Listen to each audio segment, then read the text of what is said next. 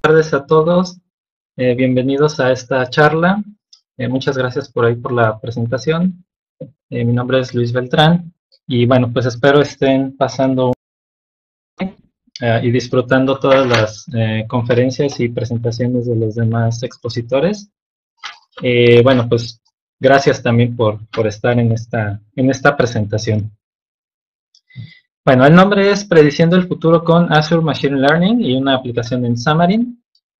Y pues básicamente en esta sesión vamos a hablar de esta herramienta de Microsoft con la cual podemos agregar lo que es inteligencia artificial o podemos crear experimentos de inteligencia artificial que al final podemos eh, utilizar en otro tipo, en cualquier tipo de aplicación, aplicaciones de consola, aplicaciones de desktop o aplicaciones móviles, que pues es lo que hoy en día tiene mucho auge. Entonces, bueno, pues vamos a comenzar con, los tópicos. bueno, mi presentación pues ya, ya, ya, ya se dio.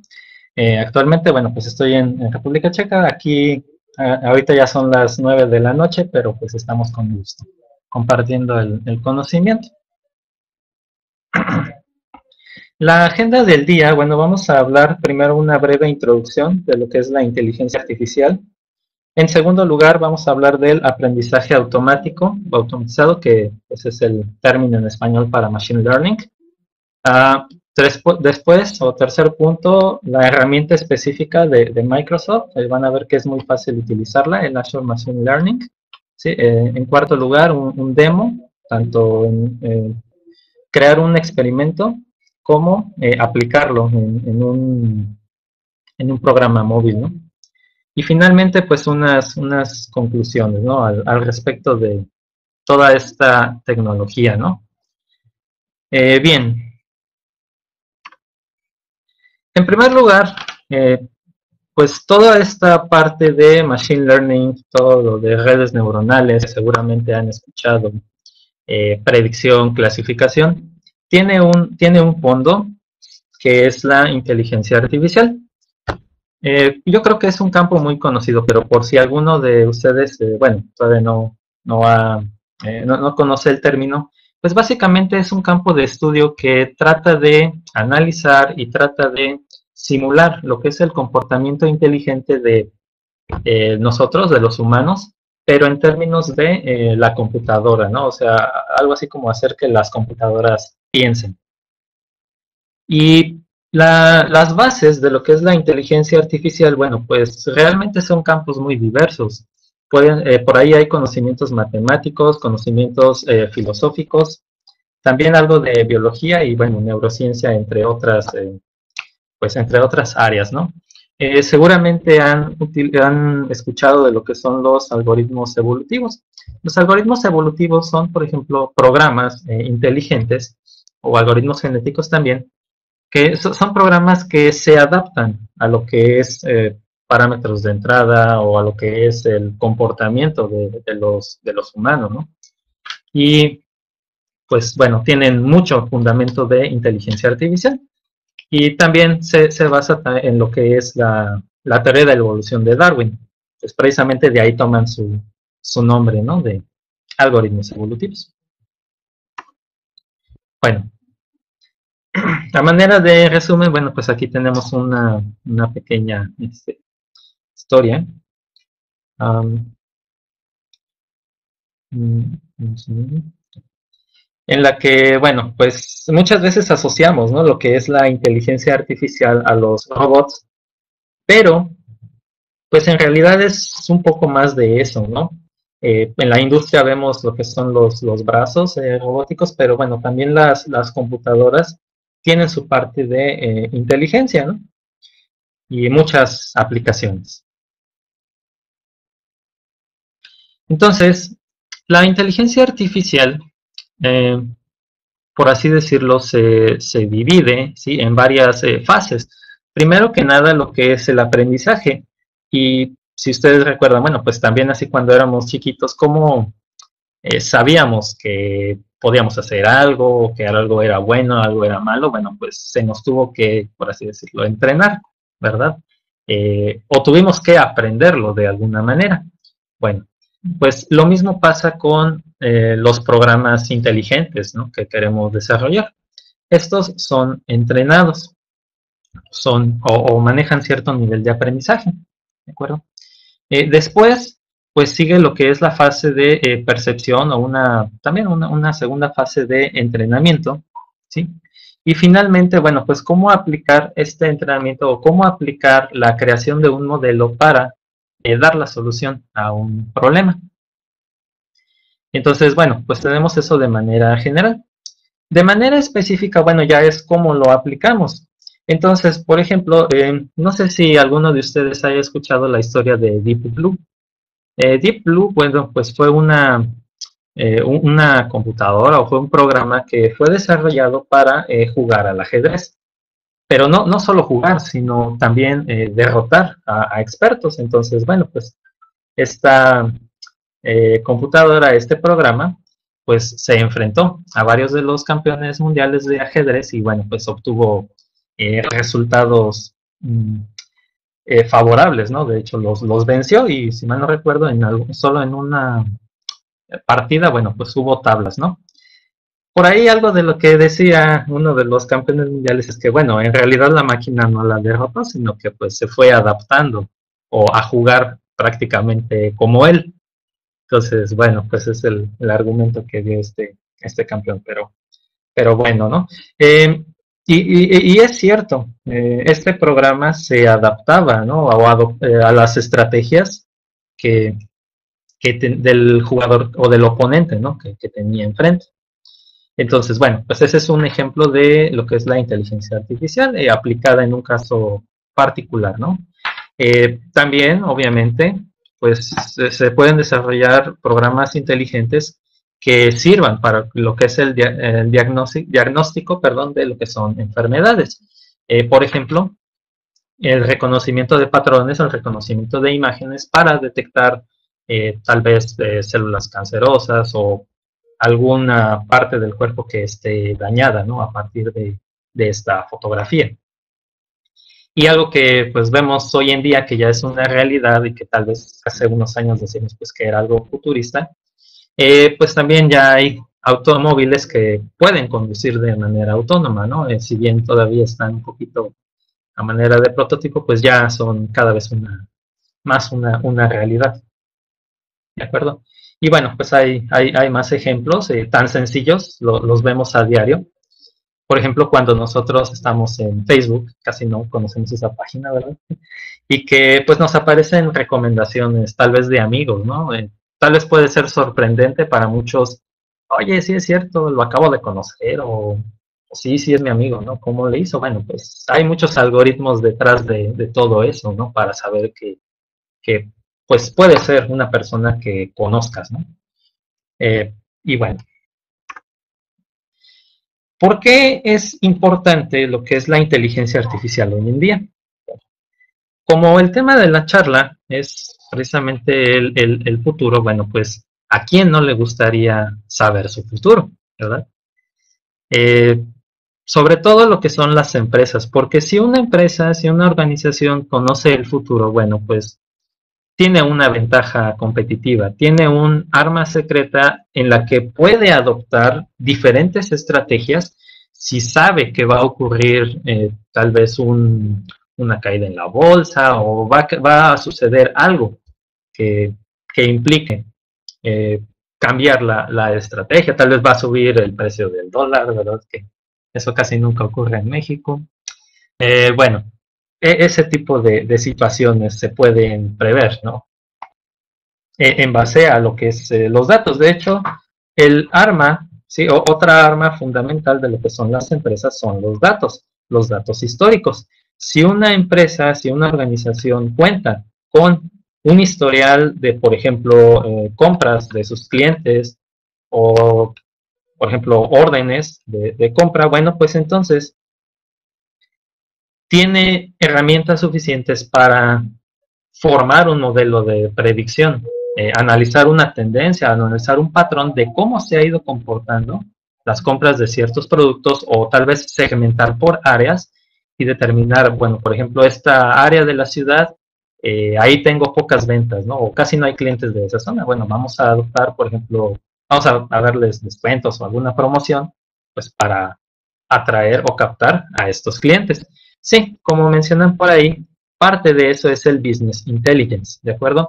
La diferencia, sí, con el business intelligence es que la inteligencia artificial se puede adaptar, o sea, puede cambiar eh, los modelos construidos, ¿de acuerdo? En algunos casos de manera autónoma. Entonces, bueno, ya, ya mencionamos que los datos son la base del aprendizaje, o sea, es el alimento. Y algo importante, sí, eh, que bueno, muchas veces se dice que las máquinas, que los robots van a reemplazar a lo que es eh, a las personas, ¿no? Pero mmm, la inteligencia artificial eh, tiene así como que su punto máximo de aplicación cuando colabora con las personas, ¿sí? En lugar de reemplazarlas. Entonces, y, bueno, por ahí hubo algunas entrevistas con, por ejemplo, eh, el director de Microsoft, eh, también de Google, y bueno, es lo que comentaban, o sea, y, y, de hecho, bueno, e, estas dos empresas también eh, Amazon, IBM, bueno, pues están creando modelos para lo que es la, inteligencia artificial. Eh, también Facebook trabaja mucho con este tipo de, algoritmos en sus, ah, en sus grupos. Y, bueno, pues es así como las aplicaciones móviles eh, hoy en día son, están en un punto muy alto, la inteligencia artificial, las redes neuronales también son, son tendencia hoy en día precisamente para conocer lo que va a ocurrir. Entonces, bueno, principalmente la, la, inteligencia artificial o los avances tecnológicos surgen para ayudar a las personas, para resolver necesidades de tecnología de información. Entonces, eh, bueno, pues es, es, siempre como que la razón de ser de por qué hay estos avances tecnológicos, ¿de acuerdo? Y sí, pues hay, muchos, hay muchos ejemplos, ¿no? Y, también a veces pasa que en las mismas películas pues hay mucha creatividad, pero pues eh, muchos de esos elementos que podían sonar a, a fantasía o a cuentos, bueno, pues hoy en día ya ya son una realidad o son la base para, eh, para lo que se viene en un futuro muy corto, ¿no? entonces, la, la, idea es que pues, nos van a facilitar las actividades que realizamos hoy en día. Si, si podemos un poquito como, como chiste, bueno, a veces hasta nos van a sobrar, no, nos van a faltar manos, ¿no? Para, poder utilizar toda esta tecnología al máximo. Entonces, bueno, pues la tecnología llegó para quedarse prácticamente. Y bueno, regresando un poquito al punto de la inteligencia artificial y sobre todo de los datos, imagínense todo lo que ocurre hoy en día tan solo en un minuto, ¿cuántos tweets son enviados? ¿Cuántos mensajes de WhatsApp eh, enviamos o recibimos? ¿sí? Entonces, hay unas cifras por ahí, que bueno, ahí tienen la, fuente, que son eh, recientes, ¿sí? del primer trimestre de 2016. Entonces, imagínense, en un solo minuto, en el mundo, por ejemplo, 700 mil personas se conectan a Facebook uno de los datos impresionantes, ¿no? Eh, WhatsApp, que bueno, es reciente, imagínense, 21 millones, casi 21 millones de mensajes son enviados. Entonces, toda esa información, pues, eh, imagínense que una empresa no la aprovechara. Pues sería así como que dinero tirado a la basura, ¿de acuerdo? Y bueno, pues hay, hay, hay más datos, ¿no? Cuántas búsquedas en Google, eh, cuántos eh, videos o cuántas horas este, eh, son representadas en Netflix, cuántos correos son enviados, mm, servicios de Uber solicitados, etcétera. tan solo el hecho, por ejemplo, de solicitar un, Uber, ¿no? Le, da mucha información a la empresa. ¿Desde dónde se está solicitando el servicio? inclusive quién está solicitando el servicio o qué datos, ¿no? Si es hombre, mujer, cuál es su edad, hacia dónde va, es un cliente frecuente o no. todo eso a gran escala permite que las empresas pues puedan tomar decisiones de si por ejemplo un servicio pues está funcionando, está generando ganancias o no, o, bueno, tal vez está generando ganancias, pero se prevé que en el futuro pues ya no, ya no va a hacer funcionar, entonces pues tal vez se adoptan otro tipo de estrategias. Entonces, consideren que hoy en día pues, los datos son, son demasiado importantes como para no aprovecharlos.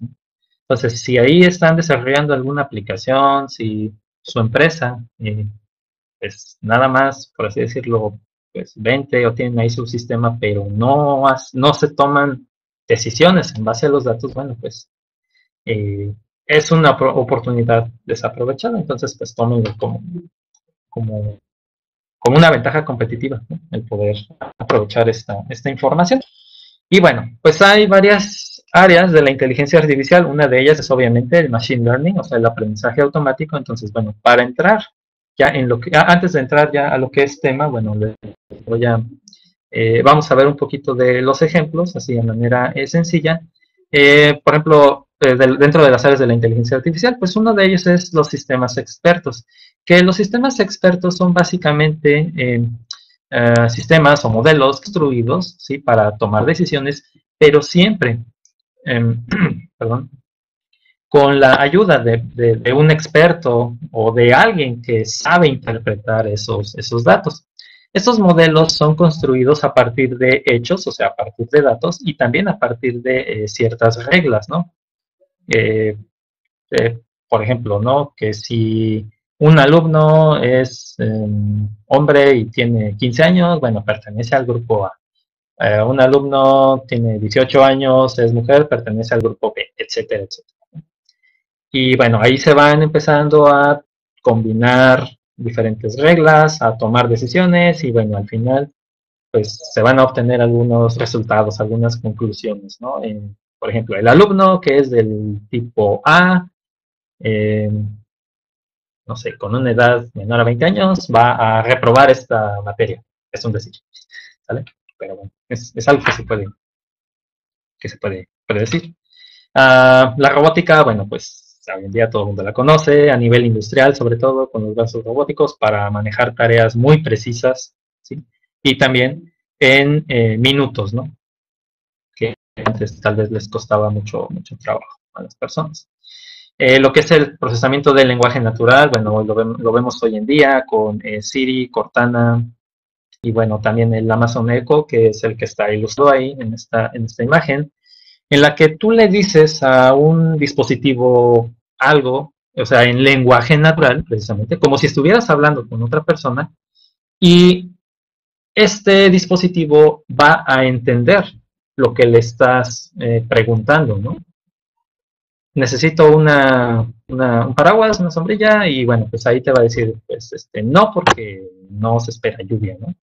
Entonces, ¿hasta dónde ha llegado ¿no? el, poder interpretar todo eso, ¿no? Todo, todo, lo que hay detrás, todos esos algoritmos de reconocimiento, de inclusive también eh, saber cuál es la intención del, ah, del, que está hablando, ¿no? En este caso, una pregunta. Eh, otro de los casos, bueno, pues la visión de computadora, lo que es el reconocimiento de imágenes, de patrones, eh, tenemos ahí, por ejemplo, pues la imagen de una persona, en este caso de un niño, y bueno, pues nos puede decir cuál es eh, la emoción o qué es lo que, lo que quiere decir este niño con esa emoción, ¿no? Con ese rostro fácil. ¿sale? Y bueno, ahí te dice pues que está enojado. Bueno, eh, otro de los elementos importantes o de las áreas de la inteligencia artificial, pues tenemos lo que son las redes neuronales. En las redes neuronales, bueno, pues siempre hay varias capas. Tenemos las capas de entrada en la que se proporcionan los, los, parámetros, los, los datos. Y de manera intermedia existen los que se llaman capas ocultas que van a asignar pesos a cada uno de estos parámetros para al final generar una salida. Eh, las redes neuronales, bueno, eh, son, son un tema muy extenso en lo que es la inteligencia artificial. Existen diferentes tipos. Existen, bueno, obviamente las redes neuronales artificiales, las redes neuronales profundas o el deep learning. Uh, y bueno, redes eh, neuronales, ah, hay, luego hay algunas combinaciones, ¿no? Este, con bayesianas o con, em, ¿qué otra? Eh, convolución, redes neuronales de convolución. Eh, y bueno, cada una de ellas tiene sus ventajas o sus aplicaciones. Mucho de las redes neuronales se aplica precisamente al reconocimiento de imágenes, al reconocimiento de rostros, al análisis de, emociones. ¿De acuerdo? Eh, bueno, la, lógica difusa, este, que bueno, también ahí, este, sí, básicamente, bueno, tú tienes ah, ciertos datos, eh, así de que, bueno, pues tienes, tenemos temperatura de 16 grados o temperatura de 18 grados. Y bueno, esto lo vamos a asociar con que es una temperatura fresca, ¿no? O sea, lo vamos como a ir asignando a una, a una categoría. Que pues estamos a 38 grados, ah, bueno, pues decimos que es caliente, ¿no? Entonces, básicamente a eso se, se, refiere parte de lo que es la lógica difusa, bueno, un poquito más, más avanzado, ¿no? Ah, ¿qué, más? Eh, bueno, los algoritmos genéticos que ya les había mencionado, existen por ahí. Eh, la, base de todo, pues, es la, evolución. Y en este caso, los datos, el modelo es construido a partir de, primero, una, selección de lo que son eh, posibles soluciones a un problema. Estas soluciones son recombinadas, existe también tal vez el proceso de mutación para variar algún parámetro y solamente las, más, las soluciones más fuertes o las que más se acercan a resolver un problema eh, son las que van avanzando a través de la evolución. Eh, una de las bases de los algoritmos genéticos es que, bueno, digamos que tenemos 10 formas de solucionar un problema. Entonces, si combinamos dos soluciones, es como si fueran los padres, dos soluciones buenas van a generar una solución eh, todavía mejor que los padres, ¿no? Pues se supone que así es la evolución, ¿no? O sea, tomamos las características eh, óptimas de cada una de las, de las soluciones y bueno, pero para también que exista cierta diversidad, existe lo que es el proceso de mutación, ¿de acuerdo? Que bueno, pues es algo que también existe en la naturaleza, ¿no? Entonces, aquí esto eh, está basado mucho en lo que es la, biología. Eh, bueno, ¿qué les puedo decir de la realidad virtual? Todo el mundo sabe lo que es el fenómeno de Pokémon Go, que bueno, pues ya abrió eh, un, área de oportunidad. Cabe mencionar que la realidad virtual ya existía, ya había algunos otros proyectos eh, antes de, pero como, como pueden ver, combinado con con lo que es, sí, tienes razón, realidad aumentada, le puse mal el, término ahí, es realidad aumentada, tienes, tienes mucha razón, Jorge. Eh, sí, em, tenemos elementos físicos y en este caso, bueno, le agregamos algo más dentro de, dentro de, esta, de este contexto físico, ¿de acuerdo? ¿Recomendarían ustedes jugar este juego? Cada quien eh, lo decide. Eh, yo no lo he jugado. ¿Por qué? Porque no tengo Android ni iOS. Pero bueno, este, cada quien decide si lo juega o no. Bueno. Eh, ahí continuó sobre todo con el boom o con el fenómeno de lo que es Pokémon, ¿no? Que tiene una base de fans enorme, ¿no? Y bueno, pues todo el mundo quería atrapar esos monos. Bueno, cada quien. ¿Qué más? Bueno, ahora sí, entrando a lo que es el Machine Learning o el aprendizaje automático, eh, la idea es que podemos generar inteligencia artificial, podemos generar modelos que puedan eh, adaptarse, que puedan obtener información sin haber sido programados o sin haber recibido ah, así como que código para que genere nuevos datos, ¿no? Em, ¿Cómo, lo hace? Bueno, ahorita vamos a, hablar de ello. Entonces, pero uno de los fundamentos del aprendizaje automático es el famoso programas que pueden crear programas, ¿sí? o sea, que pueden eh, adaptarse a nuevos datos. ¿sí? Ok. Bueno, esto ya, ya lo habíamos mencionado. Tenemos lo que es eh, datos, pero muchas veces ah, es, también relacionado con el business intelligence que habían mencionado. Eh, los datos muchas veces no, no nos sirven así como están. Hay que eh, limpiarlos, ¿no? Hay que preprocesarlos antes de introducirlos a un, a un modelo. Entonces, estos datos, yo puedo, supongamos que tengo un millón de datos, puedo entrenar una red con este millón de datos para predecir algo que vaya a ocurrir en el futuro. Pero muchas veces, sí, los eh, analistas de datos o los científicos de datos eh, no hacen eso, sino que más bien eligen una parte, digamos 75%, 80% de esos datos que tienes, ¿sí? Con esos datos entrenas a tu red o entrenas a tu modelo y con el 20% restante verificas o evalúas tu modelo. Eh, porque, bueno, de esa manera puedes saber si, si lo que estás construyendo eh, funciona o, no, ¿de acuerdo? Entonces, bueno, ahorita vamos a, hablar de ello, ¿no?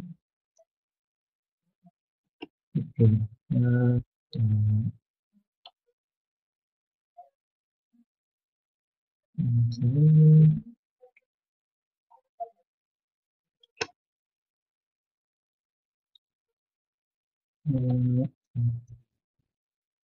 ok, bueno, e, esto que tenemos aquí es básicamente el,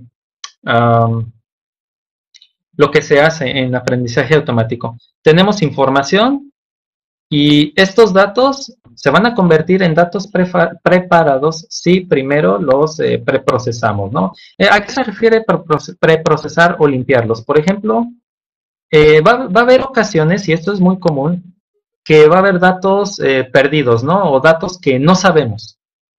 Porque ocurrió algún error en el sistema y no se guardó por completo la información. Porque hay, por ejemplo, cuando solicitamos información a las personas, hay veces que nosotros como usuarios no llenamos todos los campos, sino solamente los obligatorios. Entonces, pero, ¿qué, hacemos con, con ese tipo de información que está incompleta? Bueno, muchas veces es decisión del analista de información, del científico de datos, qué, hacer con eso. Por ejemplo, em, se puede adoptar un criterio de que pues todo el registro no me sirve, o sea, eliminarlo. Eh, bueno, eso es tal vez muy extremista, pero hay casos donde eh, se tiene que hacer. Ah, otras situaciones, eh, podemos, por ejemplo, completar esos datos ocultos con un promedio, ¿no? Con la media. Eh, por ejemplo, sobre todo si es un dato numérico, a lo mejor tengo, no sé, 100 eh, calificaciones, pero hay un alumno que no tiene calificación, bueno, ¿qué le asigno? Pues le puedo asignar el medio de los otros 100 o eliminar ese registro, asignarle la mediana. Eh, hay varias estrategias. Bueno, el, punto es que también puede darse el caso que algunas columnas de información no me sirvan. Entonces, bueno, pues las elimino. No son relevantes para, lo que estoy eh, analizando. Ah, después, ya que tengo los datos, ahora sí, se aplica lo que es un algoritmo de aprendizaje y bueno, es donde entran estos eh, eh, algoritmos de aprendizaje automático. Existen algoritmos de clasificación, de regresión, de análisis de detección de fraude, por ejemplo. ¿Sí? eh, que se lo utilizan obviamente sistemas donde los datos son confidenciales o son críticos, por ejemplo, los bancos. Y bueno, se aplica ese modelo o modelos, porque se pueden aplicar varios eh, algoritmos, perdón, no modelos, algoritmos. Y el algoritmo más confiable o el que proporcione mejores resultados es el que pues se va a elegir como el candidato, con el cual voy a eh, tratar de predecir el futuro o voy a hacer una implementación para eh, analizar datos nuevos.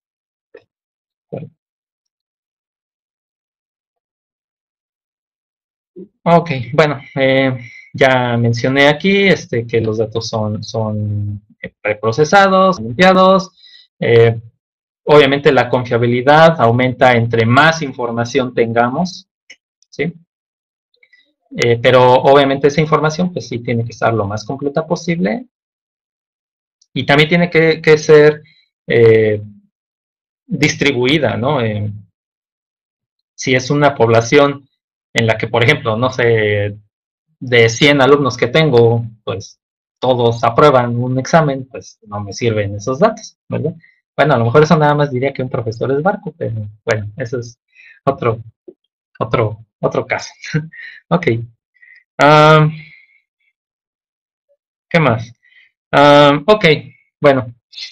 aquí en este caso tenemos un, un, ejemplo sencillo de lo que es la detección de fraudes podemos ver que tenemos ciertos, ciertos datos, ¿no? Cierta información. Tenemos nombres de personas, eh, montos, dónde fue ah, generada una tarjeta de crédito, dónde fue utilizada y la edad del, propietario, ¿no? O del dueño de esa tarjeta.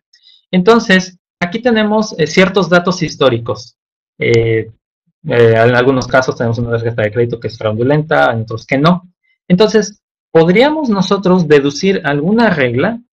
Como, por ejemplo, aquí tenemos cuatro casos en los que se detectó fraude.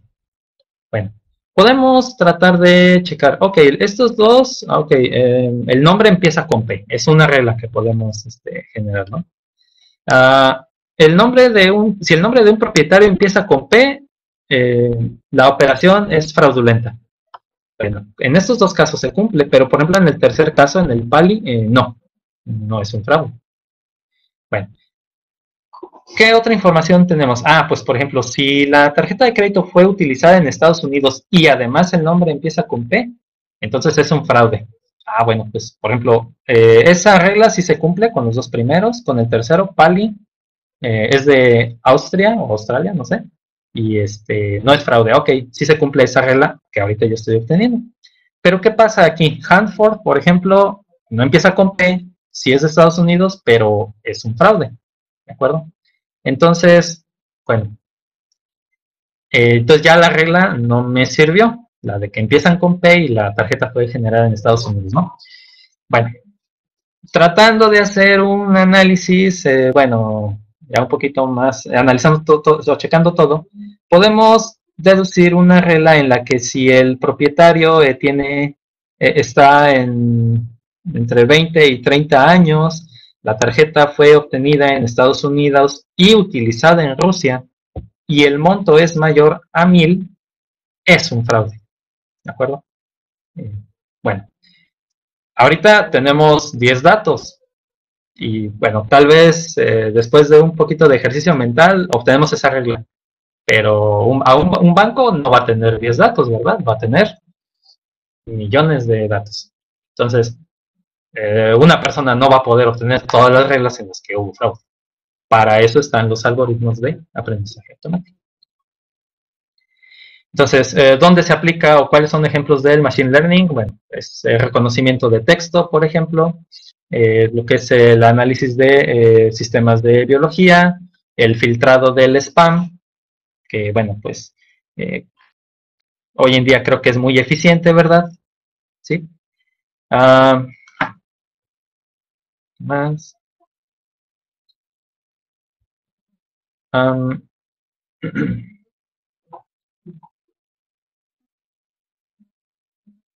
Entonces, el, Machine Learning se utiliza en pues, muchas eh, formas, ya, ya, lo vimos. Eh, también existen, por ejemplo, lo que son sistemas de recomendaciones, que vamos a Amazon o que vamos a, no sé, eh, tal vez Netflix o alguna página web en la que consultamos un producto y ya nos está sugiriendo, ah, mira, quienes compraron este producto también observaron, también compraron, también adquirieron este otro, ¿no? Entonces, hay veces que, bueno, e-, eso obviamente es una estrategia de, las empresas, pues para tratar de enganchar al cliente, ¿no? Para tratar de obtener una ganancia extra. Y es una ventaja.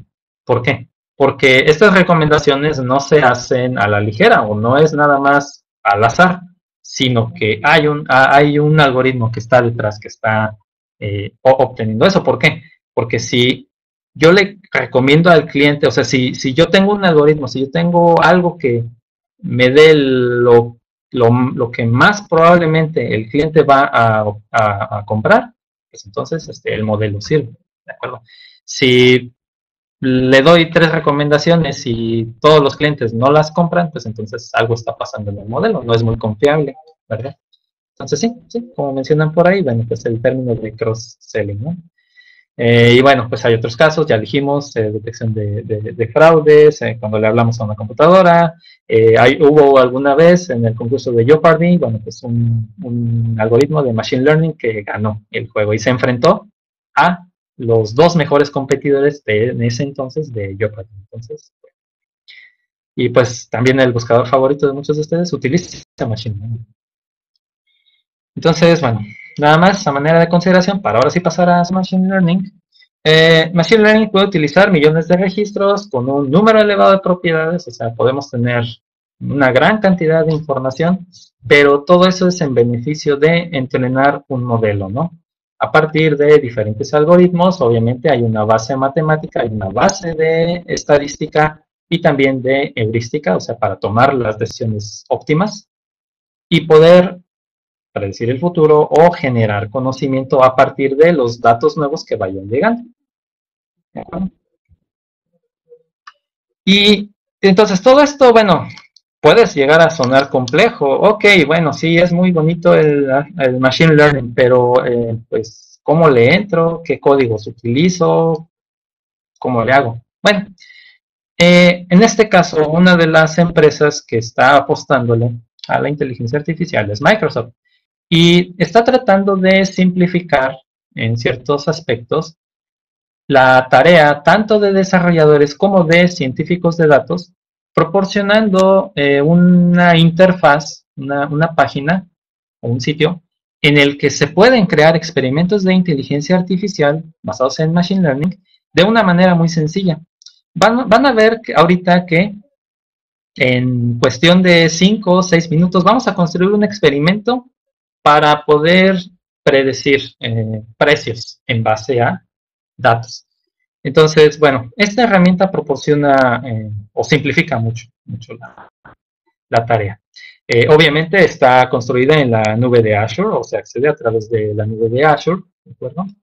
Pues para simplificar estas tareas de construir e implementar soluciones analíticas en cuatro categorías. Predicción de datos, clasificación de información, categorización, que son muy similares, y la detección de fraudes.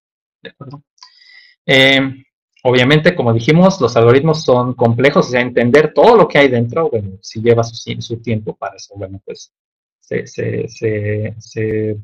analizan los códigos. Pero en este caso, em, eh, Azure, Machine Learning proporciona una especie de eh, uh, interfaz para que tú nada más, por así decirlo, hagas un drag and drop, ¿no? Arrastres y ya tienes ahí los algoritmos para que nada más conectes ciertos elementos, ¿no?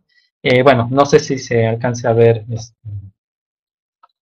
esta, esta, pantalla, pero bueno, básicamente tú vas agarrando ciertos elementos, los vas conectando y al final vas a generar un modelo. De todas formas, ahorita lo vamos a hacer para que pues lo, lo vean, ¿no? Entonces, si recuerdan, nosotros teníamos un, um, una especie de proceso de cómo se desarrolla el Machine Learning. En este caso, nada más se agrega este, el Machine Learning Studio, que es el, la, uh, el IDE o la pantalla en la que se va a realizar todo este Machine Learning, y engloba ¿no? todos los pasos.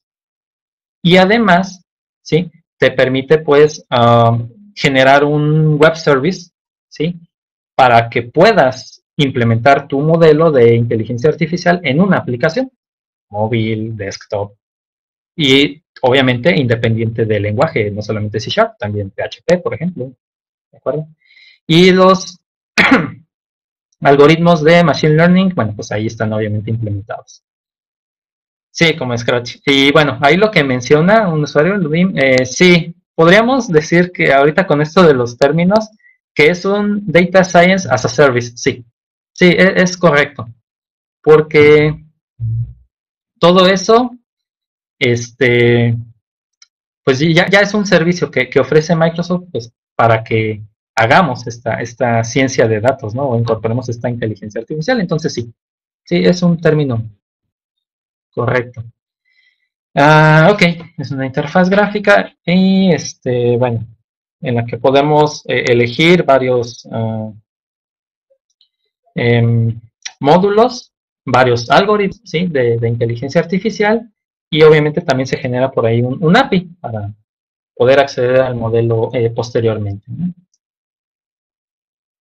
Ah, entonces, bueno, cinco pasos fundamentales para crear un experimento en, Azure Machine Learning es, primero, obtener los datos, segundo, preprocesar los datos, tercero, definir las características, cuarto, elegir y aplicar un algoritmo de aprendizaje y quinto, predecir, categorizar o, bueno, realizar algo eh, a partir de eh, nuevos datos. Eh, a grandes rasgos, ¿a qué se refiere cada paso? El primer paso de obtener los datos, pues básicamente es decirle al, al, al, Machine Learning Studio, ok, yo tengo este dataset, tengo por ejemplo un archivo separado por comas, tengo un archivo TXT, o también podemos utilizar algunos eh, conjuntos de datos que ya vienen ahí en el, en el, en el IDE, ¿no? En segundo lugar, bueno, ok, entonces, pues ya, proporcionamos al modelo la información, porque obviamente está basado en datos. Entonces podemos tener, no sé, 20 columnas ahí. Ahora, ¿qué vamos a hacer con esos datos? Bueno, pues vamos a preprocesarlos, es decir, vamos, por ejemplo, a limpiarlos. Que si hay datos vacíos, eh, eliminarlos o decir que los llene con un promedio. Mm, remover cierta información, o sea, tomar algunas reglas. Tercer paso, definir las características, se refiere a seleccionar de las 20 columnas que hay, cuáles son las que me interesan a mí. Estas 7, estas 8 son las que definen lo que yo quiero predecir. El paso 4 es, ok, hay varios algoritmos para eh, manejar el aprendizaje. Bueno, ¿cuál seleccionas? Eh, un algoritmo de regresión lineal, un algoritmo de ah, clasificación, eh, una red neuronal, un árbol de decisiones. Existen diferentes mm, algoritmos que, podemos aplicar. Eh, obviamente ahí eso es también parte del trabajo, ver cuál es el modelo que se ajusta mejor a los datos. Cada, cada uno va a proporcionar una eficiencia diferente dependiendo las características de los datos. Entonces, bueno, se, elige ese algoritmo de aprendizaje y con ese algoritmo se va a entrenar el modelo. En base a los datos. Y el quinto paso, el último, pues es, ok, ya que se entrena ese modelo, pues vamos a eh, evaluarlo, ¿sí? Vamos a decir, a ver qué tan confiable es, eh, cuál fue la, cuál es la probabilidad de que dé datos correctos, 80%, 70%, 90% tal vez. Y bueno, implementarlo ya después en alguna aplicación. Y podemos este, aplicar diferentes eh, em, eh, propósitos, ¿no? Eh, predecir información, hacer categorías de datos, clasificar o, como ya dijimos, detectar este, datos, ¿no? Y bueno, al final de todo eso, pues es la parte de generar un web service, generar un servicio que puede ser consumido en una aplicación, como ya lo he mencionado. Eh, algo que, bueno, eh, esto es una especie de introducción, pero bueno, nada más para que no me quede. Hay unas características que son importantes, ¿sí? que no vamos a ver el día de hoy, pero que, bueno, ustedes pueden eh, analizar posteriormente. Los que han trabajado con Data Science, ¿sí? saben que hay algunos lenguajes que son muy utilizados. Dos de ellos son Python y R. entonces, en este caso, Azure Machine Learning soporta la inserción de scripts de Python y de R para eh, diferentes etapas, por ejemplo, el preprocesamiento de la información, ¿sí? O la personalización de algunos de los algoritmos de datos, ¿de acuerdo? Eh, hay otras librerías que también se pueden integrar, como OpenCV, que es una librería de open source, sobre todo muy utilizada para reconocimiento de imágenes. Otra característica es que lo que tú construyas en Azure Machine Learning, que por cierto no lo mencioné, pero ofrece un plan gratuito, ¿sí? Para que tú puedas construir estos experimentos. Obviamente también hay un servicio de pago, ¿sale? Pero bueno, e-, es gratuito. eh, o hay una tarifa gratuita, pero los experimentos que tú construyas los puedes monetizar, o sea, los puedes publicar en un marketplace que existe ahí de, Azure, pues para que, por ejemplo, otros ah, científicos u otras tal vez compañías eh, consuman este modelo que tú has creado. ¿sí? Si es muy bueno pues, o si es algo novedoso, pues lo van a utilizar. Entonces, esa es una de las ventajas que, se tiene aquí. Y obviamente, eh, muchos de los que, o este servicio se orienta tanto a científicos de datos como a desarrolladores, ¿no? Entonces, eh, bueno, son de los usuarios principales. Eh, por ahí, bueno, como mencioné, bueno, sí hay eh, un plan gratuito, bueno, obviamente es, un servicio un poquito limitado, pero se pueden construir experimentos este, buenos con, el servicio básico. básicamente, perdón, hay limitaciones, por ejemplo, en cuántas veces puedes llamar a un API por minuto o por mes, cuánto espacio puedes utilizar en, la nube, eh, si puedes consumir datos de SQL Server, por ejemplo, en el esquema gratuito no, pero en el esquema estándar sí. Y bueno, este, pues ahí hay varias este, características de, los precios, ¿no? Si hay alguna duda, bueno, pues ahorita la, resuelvo al, respecto. ¿Sale? Eh, y también, bueno, pues los puedes este, implementar, ¿no? O llevar a producción. Ok. Eh, entonces, bueno, pues ah, va a haber algunos experimentos que, donde se tenga que analizar esos millones de datos eh, y bueno, que van a ser servicios casi casi dedicados. Bueno, obviamente ahí ya se opta por servicios un poquito más costosos. Por ejemplo, el nivel estándar S3, que este, dice ahí que cuesta, eh, no sé, 177 pesos al mes y bueno, este, puedes procesar 50 millones de transacciones. ¿no? Entonces, ya ahí depende de, de las características también de nuestros datos. Bueno. Ok, eh, entonces ahora vamos al demo. Eh, en el demo, ahorita voy a crear un experimento de Azure Machine Learning. Y bueno, em, en este link de GitHub eh, tienen lo que es la aplicación de Xamarin, ¿de acuerdo? Entonces, bueno, vamos al, al demo. Entonces, mm, les voy a copiar ahí en el chat el link, ¿sale? Para eh, pasar a lo que es el escritorio, ¿no? Ah, ¿Me pueden confirmar si sí se observa el escritorio? Creo que sí.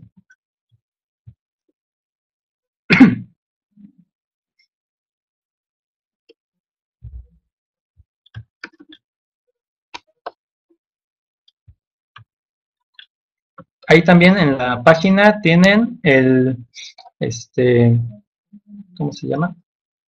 Ok, ya veo que sí. Ok, gracias.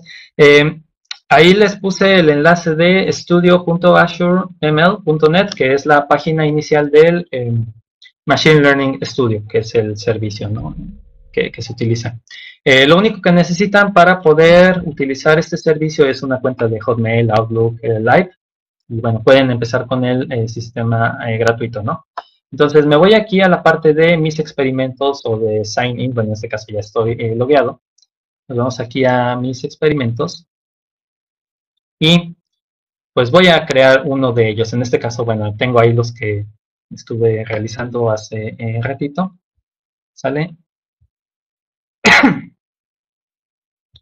en este caso, no, ok, bueno.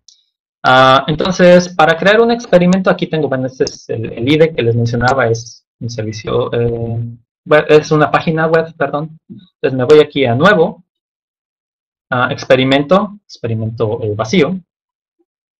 Y bueno, este es el espacio en el que yo puedo seleccionar del menú izquierdo varias eh, herramientas para construir el modelo.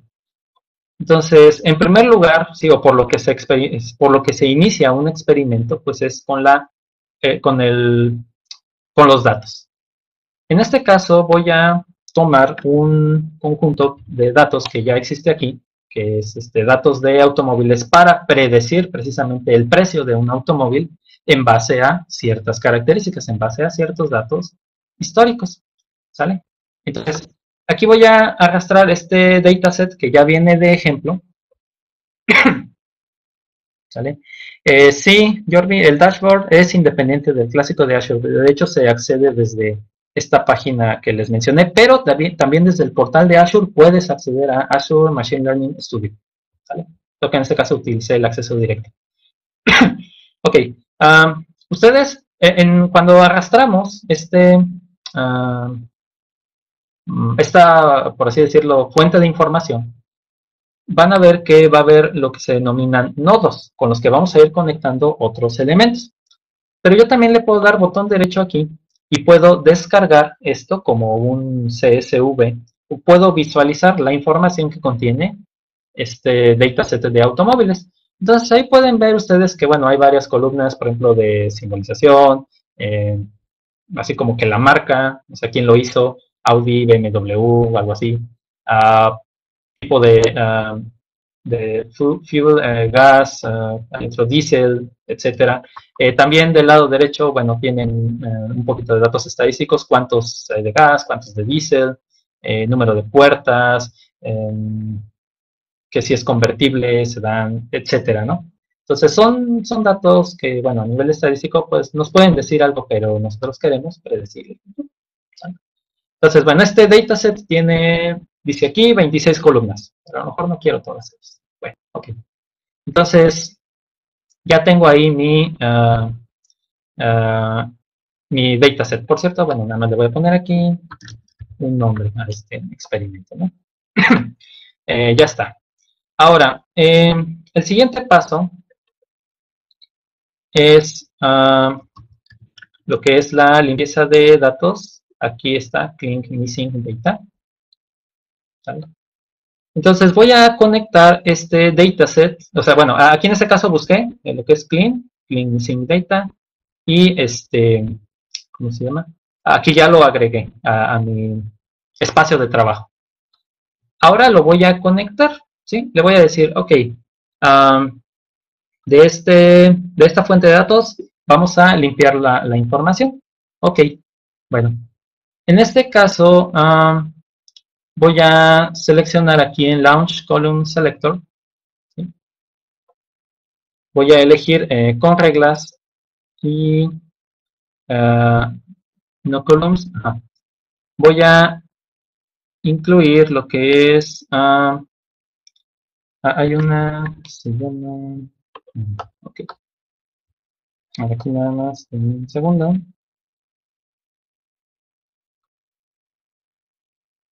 Porque hay algo que no me está apareciendo.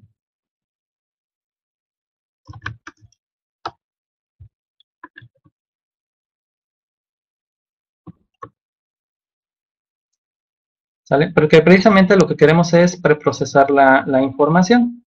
¿Sale? Ah, ya me acordé. Sí, precisamente aquí me faltaba algo. Este, necesito primero seleccionar. ¿verdad? Ahí está. Ah, select columns in dataset. Sí, ya acuerdo. Entonces, en este caso, aquí en eh, Select Columns, le voy a decir que de mi conjunto de datos, voy a lanzar este selector de columnas y ah, voy a marcar la columna de, aquí en All Columns, Normalize Losses. Bueno, esta columna, ¿sí? Ah, ahora sí.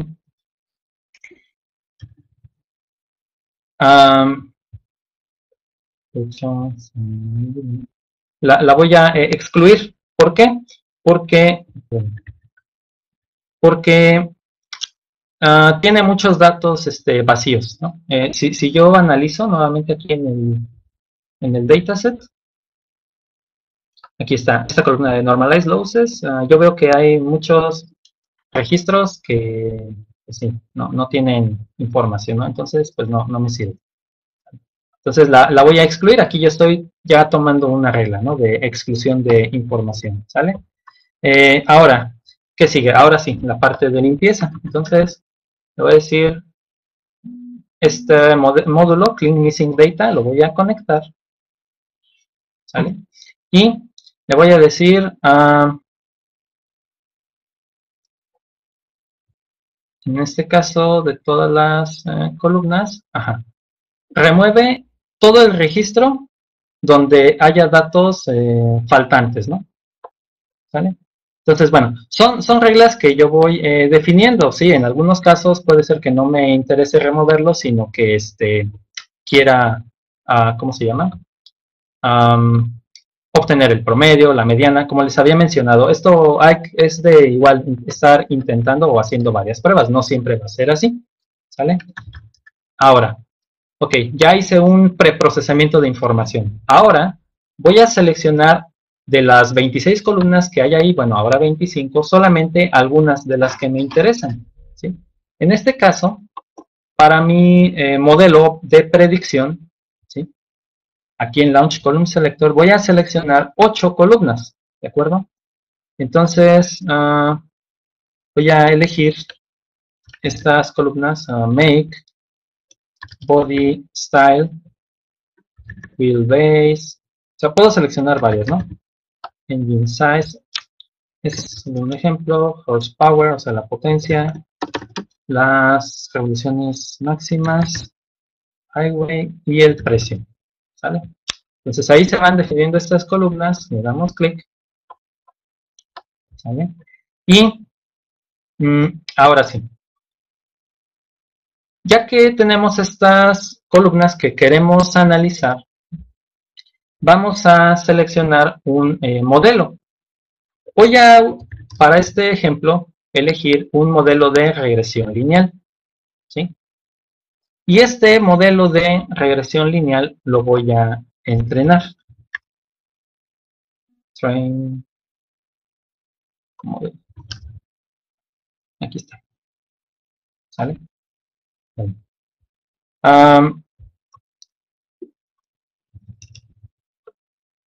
pero, ¿se acuerdan que les había mencionado que un modelo, ¿sí?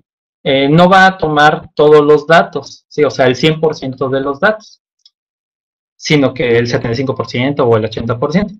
Bueno, algo que se puede hacer, aquí hay un módulo ¿sí? llamado Split Data. Entonces, ese Split Data yo lo puedo conectar aquí donde selecciono las columnas y le puedo decir dentro de las propiedades que aparecen aquí del lado derecho, bueno, toma el 75% de los datos, ¿sí? Y esos se van a utilizar, aquí está, para entrenamiento, ¿sale? Ah, perdón, aquí está. Eh, el modelo, el, algoritmo de regresión lineal lo conecto al, train model y el 75% de los datos los conecto precisamente para entrenar. El 25% restante lo voy a utilizar para la evaluación del modelo. Ahorita lo van a ver. Entonces, ahora selecciono aquí uh, Score Model. ¿sale? Y ah, lo voy a conectar aquí con el modelo que ha sido entrenado y lo voy a evaluar con estos datos que estoy eh, separando, ¿no?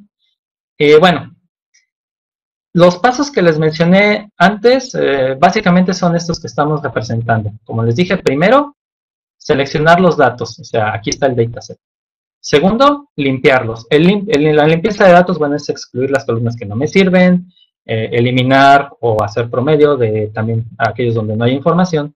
Y el tercer paso es elegir un algoritmo de aprendizaje. En este caso es el algoritmo de regresión lineal. Y bueno, yo aquí nada más le voy a decir que ah, únicamente este, tome el 75% de los datos. ¿Sale? Ahora, aquí me está marcando un error. ¿Por qué? Porque en el modelo de entrenamiento yo le tengo que decir qué columna o qué dato es el que quiero predecir. Bueno, ese dato que quiero predecir lo voy a seleccionar aquí en Launch Column y pues precisamente le voy a decir que quiero el precio. Le doy clic. ¿Sale? Y ya está. Ya solamente me falta conectar aquí esta, esta parte que se llama Evaluate Model con la primera parte y voy a darle aquí en Run o en Ejecutar y van a ver lo que va a suceder.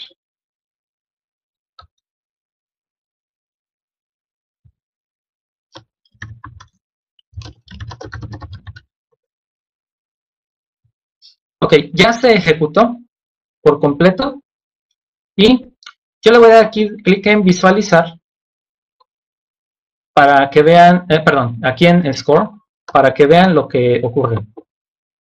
Aquí en Score Model está tomando ciertas características o ciertos datos, por ejemplo, ok, un Subaru, un sedán, etcétera. Este es el precio que venía en los datos y este es el precio predecido. O sea, dice que un auto que cuesta, no sé, 11 mil, bueno, el precio que se predijo es de 10 mil. Bueno, a lo mejor ahí hay cierta diferencia, ¿no? En que es este. Uh, pero va a haber datos donde es muy, muy próximo. Por ejemplo, 16.500 contra 16.100, ¿no? Eh, 5.500, 6.600. Entonces aquí ya tenemos prácticamente el modelo construido. Y bueno, ya casi este, se, se, acaba la hora, entonces, eh, bueno, lo único que faltaría sería generar aquí el web service y este web service es el que podemos conectar a una aplicación eh, móvil. Entonces, en este caso, nada más les voy a mostrar rápidamente una aplicación, eh, la aplicación móvil que aquí construí, ¿sale? Porque esto genera un web service, ¿sí? Y, y aquí, ¿sale? Eh, bueno, pues ya nada más le proporcionamos la información que eh, queremos. Por ejemplo, ya tenía algunos datos por ahí.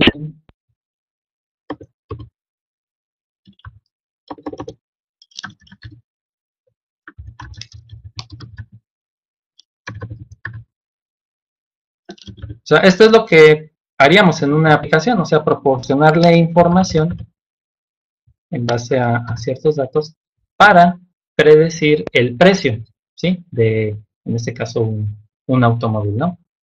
Entonces, uh, bueno, aquí está. Dice que, por ejemplo, el precio de un automóvil con estas características, características o sea, este es un dato nuevo, pues es de 16.974 pesos, ¿no? Entonces, eh, bueno, esta es básicamente la, la, idea del web service que utiliza este servicio. Bueno, uh, los datos, sí, están en el dataset que tomó como base, pero estos datos pueden ser nuevos. O sea, a lo mejor yo en el dataset no tengo esta información, o sea, no tengo 92.7, ¿de acuerdo? Entonces, ese es lo que lo, lo novedoso, o sea, que estos parámetros pueden cambiar, o sea, pueden ser datos totalmente nuevos y en base al modelo construido es el precio que va a, a generarse, ¿no? Entonces, este, Sí, sí, exactamente. O sea, se, se utiliza esta estadística o este algoritmo. ¿no? Y, y, bueno, este, ya no me dio tiempo de, de mostrar la aplicación de Xamarin, pero bueno, en el GitHub eh, está, ¿sale? Y bueno, aquí es donde se, se construye el, el, servicio este, predictivo, ¿no? ¿Sale? El GitHub, eh, sí, va de nuevo, aquí la, la página, ¿sale? ¿Se puede implementar eh, SVM en Azure? Uh, sí, sí, sí, sí, sí, sí se puede. No lo he utilizado, pero sí lo he visto en la documentación. ¿Sale? ¿Sale? Este, bueno, pues al final bueno, me fue un poquito rápido, pero bueno, creo que ya este, estamos sobre tiempo, entonces este, el, el código, bueno, eh, básicamente es, es, este, se utiliza el servicio HTTP Client, por ahí hay una llave que se genera, una API key, y pues nada más te conectas al servicio y le proporcionas la, la información. Todo se pasa como JSON y se recibe como JSON, ¿de acuerdo? Pero bueno, las dudas que haya, este, bueno, pues igual me pueden preguntar ahí en el, en el Twitter, ¿sale? Y bueno, pues este, el, como pueden ver, el tema es algo extenso. Pues espero que esta charla este, les haya sido de mucho provecho. Cualquier duda, bueno, pues ahí estoy en el Twitter. Y este, pues, pues gracias por el espacio.